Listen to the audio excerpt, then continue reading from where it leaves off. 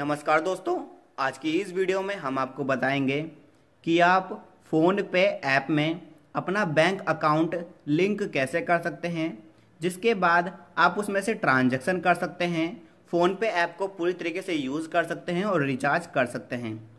सबसे पहले अपने फ़ोन पे ऐप को ओपन कर लीजिए और ध्यान रहे, यहाँ पे आपकी जो आईडी है, उसी नंबर से बनी होनी चाहिए जिस नंबर से आपका अकाउंट है, यानी जो नंबर आपके अकाउंट में लिंक है।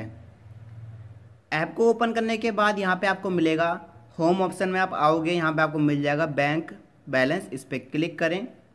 यहाँ पे आपको मिल जाएगा ऐड बैंक अकाउंट, अगर यहाँ पे नहीं मिल रहा है तो यहाँ पे आपको मिलेगा गोल आइकन, इस पर क्लिक करें। और यहाँ पे आपको मिलेगा माई क्यू आर कोड, इस पर क्लिक करेंगे तो भी आपके पास ऐड बैंक अकाउंट आ जाएगा। तो यहाँ पे आप इस पर क्लिक करें। ऐड बैंक अकाउंट पे और आपके पास ये वाला पेज आएगा। यहाँ पे आपको अपना बैंक सिलेक्ट कर लेना है कि आपका अकाउंट कौन से बैंक में है। तो यहाँ पे हम सर्च करते हैं कोटक बैंक तो आ चुका है, हम इस पर सिलेक्ट करते हैं। इसके बाद यहाँ पे कह रहा है ये वाला ऑप्शन आप देख सकते हैं। यहाँ पे आपको अपनी वाली सिम सिलेक्ट कर लेनी है। जो नंबर आपके बैंक अकाउंट में लिंक है और साथ ही में आपका वो नंबर उसी फ़ोन में होना चाहिए जिसमें आप फ़ोन पे ऐप चला रहे हो। तो हमारे जो नंबर है, ये वाला जो दिखा रहा है यहाँ पे, वो हमारे इसी फ़ोन में है, हमने इसी में ही डाल रखा है। यहाँ पे हम वोडाफोन को सिलेक्ट कर लेते हैं, हमारे वोडाफोन वाली सिम है, और कंटिन्यू पे आपको क्लिक करना है। और ध्यान रहे, यहाँ पे आपका जो सिम है, उसके अंदर मेन बैलेंस होना चाहिए एसएमएस भेजने के लिए। अगर उसमें मेन बैलेंस नहीं है, यानी पैसे नहीं हैं तो यहाँ पे आपका फ़ोन पे वेरीफाई नहीं होगा, और एक अजीब सा मैसेज आ जाएगा। तो यहाँ पे कह रहा है, ये ऑप्शन आप देख सकते हैं कि हमारा एक रुपया कटा है, यानी हमारा मेन बैलेंस था इसमें। फिर आपको ओके पे क्लिक करना है। तो यहाँ पे इनने हमारा ये बैंक ले लिया है, आप देख सकते हैं। यहाँ पे आपको मिलेगा प्रोसीड टू ऐड यहाँ पे आपको कुछ डिटेल मिल जाएगी जो कि हमने ब्लर कर रखी है प्राइवेसी की वजह से।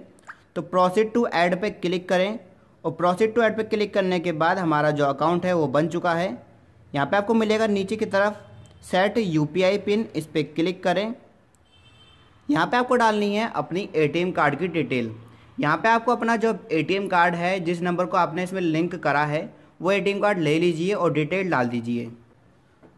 तो आपको अपना एटीएम कार्ड ले लेना है और इसके जो छः डिजिट है लास्ट वाले, ये आपको देख लेने हैं कि क्या है और यहाँ पे आपको डाल देना है।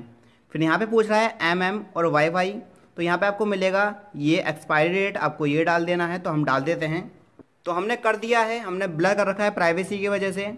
प्रोसीड पे आपको क्लिक करना है, थोड़ा सा आपको वेट करना है और यहाँ पे कहेगा एंटर ओटीपी तो यहाँ पे आपके जो फ़ोन है, उसमें नेटवर्क आने चाहिए, हमारी दिक्कत आ रही है नेटवर्क नहीं आ रहे हैं तो हम ट्राई करते हैं। तो यहाँ पर हमारा ओटीपी आ चुका है और हमने डाल दिया है।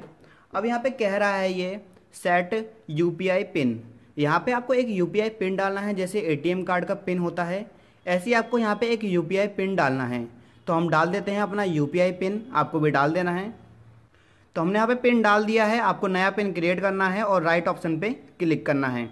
दोबारा आपको कंफर्म करने को कहेगा तो वही पिन आपने जो पहले डाला था, वो आपको डाल देना है। तो हमने फिर से एंटर कर दिया है। राइट पे हम क्लिक करते हैं।